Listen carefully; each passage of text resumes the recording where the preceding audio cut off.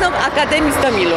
Pan Andrzej y, zaprosił mnie na spotkanie, zaproponował tą współpracę, ja jestem bardzo otwarta na wszelkie działania sportowe w przedszkolu.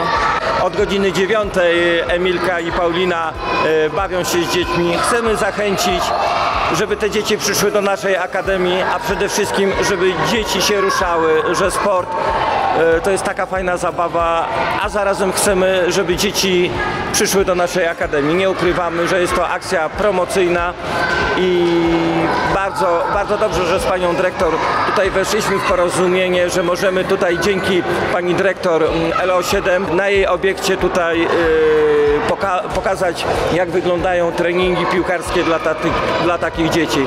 Będziemy ściśle współpracować z przedszkolem Promyczek i już w najbliższym czasie, bo 24 lutego będziemy chcieli yy, mieć taką sportową olimpiadę, gdzie wspólnie razem będziemy się tutaj z dziećmi bawić. Akademia i prze- przedszkole Promyczek.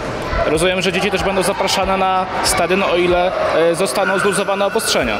E, Dokładnie tak, także tutaj dzieci chcemy nauczyć właśnie, że tak blisko e, mają przedszkole stadionu 100 milu i to powinno być taką naturalną rzeczą, że w najbliższym czasie, jak tylko to będzie możliwe, znajdą się na naszym stadionie lub na najbliższym meczu. Na czym jeszcze ta współpraca będzie polegać? E, No tutaj oprócz przedszkola to także jest związane ze szkołą, którą także pani Monika Lewicka jest dyrektorem i umożliwi nam współpracę na bazie przedszkola i bazie szkoły podstawowej. Także e, będziemy chcieli próbować młodzież zachęcić do wstąpienia w szeregi naszej akademii.